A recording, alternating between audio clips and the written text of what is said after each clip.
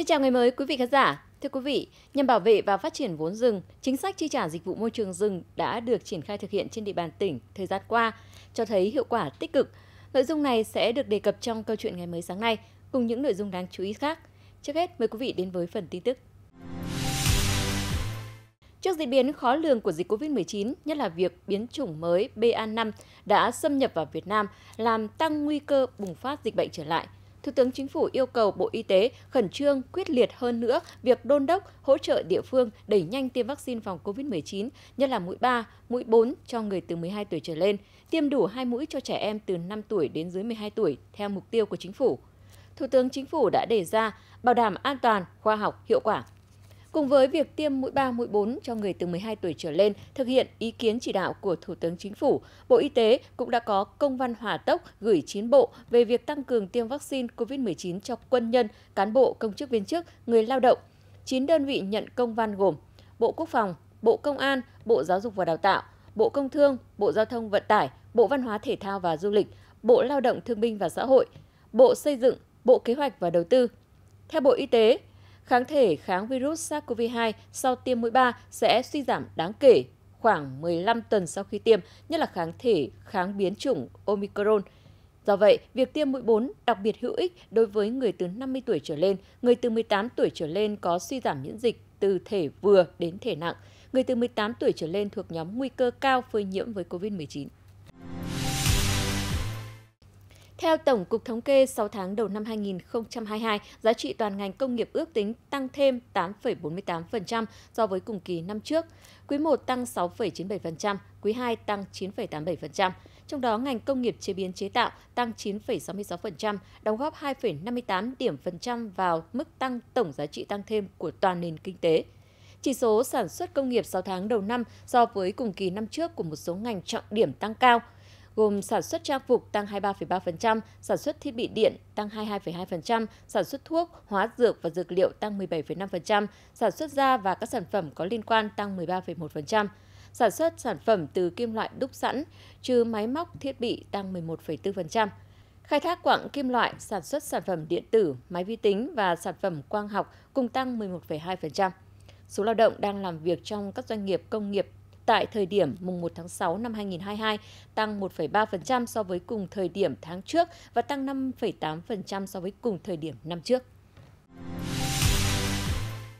Kiên quyết thu hồi rừng nếu để xảy ra mất rừng. Đây là một trong những nhiệm vụ trọng tâm tại công văn số 2072 của Ủy ban Nhân dân tỉnh Sơn La về việc tăng cường công tác quản lý bảo vệ rừng, xử lý tình trạng phá rừng, lấn chiếm đất rừng trái pháp luật. Theo đó, Ủy ban nhân dân tỉnh giao Ủy ban nhân dân các huyện thành phố chỉ đạo tuyên truyền, thực hiện đồng bộ quyết liệt các giải pháp quản lý bảo vệ và phát triển rừng, kiểm soát chặt chẽ việc chuyển mục đích sử dụng rừng sang mục đích khác, tránh tình trạng lợi dụng việc chuyển mục đích sử dụng rừng để phá rừng trái phép. Chỉ đạo các cơ quan chức năng, chính quyền cơ sở, các chủ rừng tăng cường quản lý bảo vệ rừng, tích cực tuần tra kiểm tra, kịp thời phát hiện, ngăn chặn và xử lý nghiêm các hành vi xâm hại rừng, phối hợp với các sở ngành có liên quan đẩy mạnh công tác giao rừng cho thuê rừng gắn với giao đất cho thuê đất, đặc biệt là diện tích rừng do Ủy ban Nhân dân cấp xã đang quản lý, kiên quyết thu hồi rừng đối với các chủ rừng là hộ gia đình, cá nhân, cộng đồng dân cư không thực hiện nghĩa vụ bảo vệ rừng để xảy ra mất rừng. Chỉ số giá tiêu dùng 6 tháng đầu năm 2022 của tỉnh Sơn La so với cùng kỳ tăng 2,16%. Trong 11 nhóm hàng chính, có 9 nhóm có chỉ số giá tiêu dùng tăng so với cùng kỳ, lần lượt là nhóm giao thông tăng cao nhất, tiếp theo là các nhóm đồ uống và thuốc lá, nhóm hàng hóa và dịch vụ khác, nhóm may mặc, mũ nón và giày dép, nhóm nhà ở, điện nước, chất đốt và vật liệu xây dựng, nhóm thiết bị và đồ dùng gia đình, nhóm giáo dục, nhóm thuốc và dịch vụ y tế, nhóm hàng văn hóa, giải trí và du lịch. Nhóm hàng ăn và dịch vụ ăn uống có chỉ số giá giảm 2,59% nhóm bưu chính viễn thông có chỉ số giá ổn định. Phát triển cây dứa theo hình thức nông dân liên kết với doanh nghiệp trồng theo quy trình sản xuất an toàn, chủ động giải vụ, đảm bảo nguyên liệu cho nhà máy chế biến đã và đang được triển khai tích cực trên địa bàn tỉnh Sơn La, mở ra triển vọng mới trong sản xuất nông nghiệp theo hướng bền vững. Năm 2021, công ty cổ phần thực phẩm xuất khẩu Đồng Giao đã ký kết hợp đồng với 21 hợp tác xã trồng 264 ha dứa nguyên liệu tại 9 huyện trên địa bàn tỉnh – Cùng với đó, Trung tâm chế biến rau quả Dovico Sơn La thuộc công ty cổ phần thực phẩm xuất khẩu Đồng Giao được xây dựng trên địa bàn huyện Mai Sơn, hiện đang hoàn thiện dây chuyền chế biến dứa công suất từ 200 đến 250 tấn dứa trên ngày. Đến thời điểm này, khoảng 80% diện tích dứa trồng năm 2021 đang cho thu hoạch, tuy nhiên sản lượng mới chỉ đáp ứng khoảng 30 đến 35% công suất nhà máy. Để đảm bảo vùng nguyên liệu bền vững, năm 2022, công ty dự kiến trồng mới 1.000 ha dứa, nâng tổng diện tích dứa toàn tỉnh lên gần 1.300 hectare. Thời điểm này, ngoài việc hướng dẫn bà con kỹ thuật thu hoạch, công ty đã cử cán bộ hỗ trợ bà con kỹ thuật chăm sóc chồi dứa để phục vụ cho việc mở rộng diện tích trong thời gian tới. Để nâng cao năng lực chủ động ứng phó với thiên tai, năm 2022, tỉnh Sơn La tiếp tục củng cố kiện toàn Ban Chỉ huy phòng chống thiên tai và tìm kiếm cứu nạn các cấp đáp ứng yêu cầu nhiệm vụ, duy trì 204 đội xung kích phòng chống thiên tai cấp xã với tổng số 18.243 thành viên sẵn sàng tham gia ứng phó khắc phục hậu quả khi có tình huống thiên tai. Về nâng cao nhận thức cộng đồng và quản lý rủi ro thiên tai, những năm qua toàn tỉnh đã tổ chức 22 lớp tập huấn dựa vào cộng đồng cho 950 người, tổ chức 75 lớp tập huấn huấn luyện nghiệp vụ, thực hành cứu hộ cứu nạn, điều khiển phương tiện thủy nội địa cho 3.133 cán bộ, chiến sĩ công an, quân đội và điện lực, tổ chức 48 cuộc diễn tập ứng phó lũ bão và tìm kiếm cứu nạn, ứng phó cháy rừng, triển khai công tác giả soát, cắm biển cảnh báo tại các khu vực, địa điểm có nguy cơ cao, rủi ro thiên tai tại khu vực dễ bị ngập lụt, xảy ra lũ quét, sạt lở đất, khu vực sụt lún, sạt lở bờ sông suối, các cấp các ngành quan tâm đầu tư các nguồn phục vụ công tác phòng chống thiên tai, kịp thời hỗ trợ ổn định dân sinh, sửa chữa khắc phục tạm thời các công trình bị hư hỏng. Quý vị và các bạn vừa theo dõi những thông tin thời sự, bây giờ là thời lượng dành cho câu chuyện ngày mới.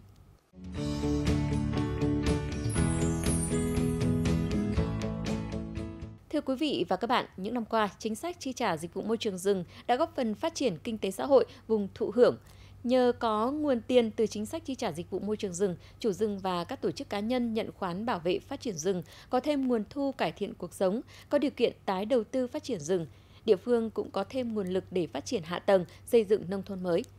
Sau đây là ghi nhận tại xã biên giới Lóng Sập, huyện Mộc Châu.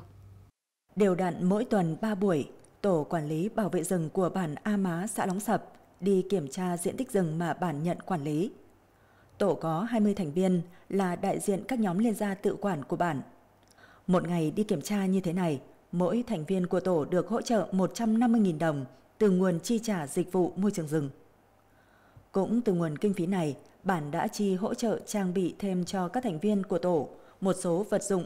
như dao phát, đèn pin, trang phục bảo hộ, để phục vụ công tác kiểm tra rừng cũng như phòng cháy chữa cháy rừng. Ờ, nhà nước nói chung là chi trả cho cái tiền dịch vụ môi trường đấy, nói chung là tổ uh, bảo vệ rừng thì nói chung là cũng uh, háo hức, nói chung là cũng phấn khởi được về là lúc được tiền về để người ta chi trả cho uh, xứng đáng với cái công của trong tổ bảo vệ rừng được cái ờ, tiền dịch vụ môi trường người ta trả là mình phải có cái trách nhiệm Đấy, để bảo vệ cái rừng mình được hưởng cái cái tiền dịch vụ môi trường. Xã Long Sập có 14 bản thì là 14 bản đấy thì bản nào có rừng. Thì là tất cả các bạn có rừng là đều thành lập một tổ đội tuần tra bảo vệ ờ, bảo vệ rừng. Nhờ có cái dịch vụ môi trường rừng lên cái việc tuần tra được đầy mạnh hơn. Ờ, công tác tuần tra bảo vệ thì có hiệu quả hơn. Dễ dàng trong cái việc là ngăn chặn xử lý các hành vi mà vi phạm pháp luật về đến luật lâm nghiệp.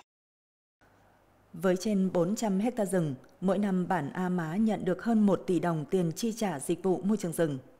Từ đó đã giúp bản có kinh phí để triển khai công tác bảo vệ rừng. Các chủ rừng và các hộ nhận khoán rừng có thêm thu nhập cải thiện đời sống.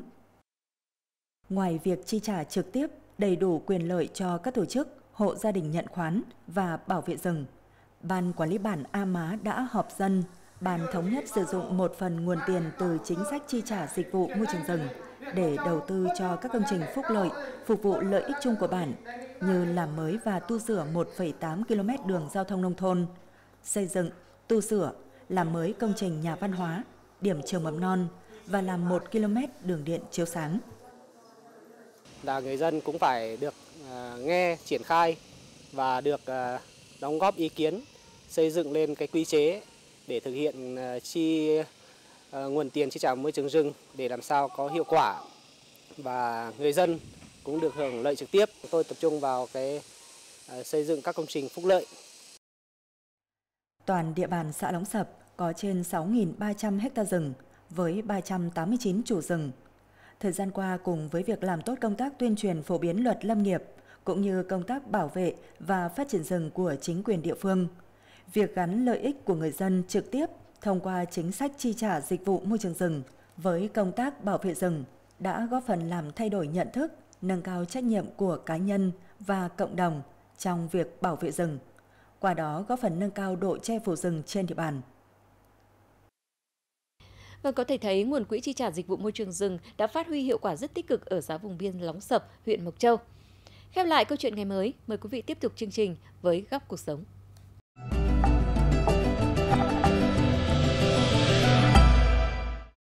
Thưa quý vị, xác định công tác bảo vệ chăm sóc và giáo dục trẻ em là một trong những nhiệm vụ quan trọng. Những năm qua, các cấp ủy, chính quyền, các ngành đoàn thể và nhân dân huyện Sông Mã đã triển khai đồng bộ nhiều giải pháp thiết thực hiệu quả, góp phần xây dựng môi trường an toàn, lành mạnh để trẻ em được phát triển toàn diện. Ghi nhận của phóng viên STV. Mường Hung là xã biên giới của huyện Sông Mã, có địa hình phức tạp, giao thông đi lại khó khăn. Để tăng cường công tác chăm sóc, bảo vệ và giáo dục trẻ em, xã Mường Hung đã xây dựng các mô hình cộng đồng an toàn, chăm sóc, bảo vệ trẻ em, tổ chức các lớp tập huấn về kỹ năng tự vệ, chăm sóc bản thân cho trẻ em, thực hiện tháng hành động vì trẻ em năm 2022 với chủ đề chung tay bảo vệ trẻ em, hãy lên tiếng phòng chống bạo lực trẻ em – xã Mường Hung đã đẩy mạnh công tác tuyên truyền với nhiều nội dung phong phú, đa dạng về luật trẻ em, các chủ trương chính sách của Đảng, Nhà nước về trẻ em, tạo thêm sân chơi lành mạnh, bổ ích cho trẻ em trong dịp hè. Trong ờ, cái ờ, công tác triển khai phòng, phòng chống bạo lực cho trẻ em thì xã cũng đã xây dựng cái kế hoạch thành lập tổ đi ờ, tuyên truyền đến các bản. Thì đối với vùng cao thì nó rất khó khăn về cái việc công tác tuyên truyền bởi vì ở khu vực uh, biên biên giới. Uh, nó bản cách bản nó xa. Đấy, công tác đi lại thì rất khó khăn. Đấy, thì, thì đối với các cái điểm này để nó đảm bảo cho thì mong muốn uh, của chính quyền xã thì cũng muốn để uh, có đảng nhà nước quan tâm nhiều hơn về khu vực vùng cao. Năm 2021 và 6 tháng đầu năm 2022, huyện Sông Mã đã tổ chức 8 lớp tập huấn kỹ năng tự vệ, phòng tránh xâm hại, bạo lực cho gần 1.000 lượt trẻ em tham gia. Để hướng tới xây dựng môi trường an toàn lành mạnh cho trẻ em, năm 2022, huyện Sông Mã đã đầu tư xây dựng, nâng cấp công trình phúc lợi, sân chơi, bãi tập, nhà văn hóa tại các xã, đồng thời tổ chức diễn đàn trẻ em tại các bản, để trẻ em được tham gia, thể hiện tiếng nói, thực hiện quyền của mình, tuy nhiên vẫn còn gặp phải một số khó khăn nhất định. Đối với đoàn xã về à, tuyên truyền tại các bản thì à, các em học sinh thì toàn à, đi làm nương với bố mẹ. Nên là cái việc à, à, trợ tập các em về sinh hoạt thì rất là khó khăn. Đối với tối thì cũng do điện lóm nó không đảm bảo. Thì các phần lớn là cái đoàn toàn tổ chức vào các buổi chiều. Đối với địa bàn huyện Sông Mã là một huyện rất là rộng, ờ, rất nhiều bản ở vùng sâu, vùng xa, ờ, vùng đặc biệt khó khăn. Hy vọng rằng là trong thời gian tới ờ, chúng tôi sẽ tiếp tục nhận được sự quan tâm của các bậc phụ huynh và của toàn xã hội để nâng cao cái nhận thức của xã hội về cái việc phòng chống xâm hại và bạo lực cho trẻ em. Để nâng cao nhận thức của toàn xã hội về công tác bảo vệ, chăm sóc, giáo dục trẻ em, các xã thị trấn, các hội, đoàn thể ở sông Mã đang đẩy mạnh công tác truyền thông, giáo dục về thực hiện quyền trẻ em, bảo vệ trẻ em, tổ chức các hoạt động vui chơi giải trí, rèn luyện kỹ năng sống để các em thiếu nhi trên địa bàn huyện Sông Mã có một mùa hè thật sôi động và bổ ích. Tới đây chương trình trong ngày mới sáng nay xin được kết thúc. Chúc quý vị một tuần làm việc mới, gặt hái nhiều thành công. Kính chào tạm biệt và hẹn gặp lại.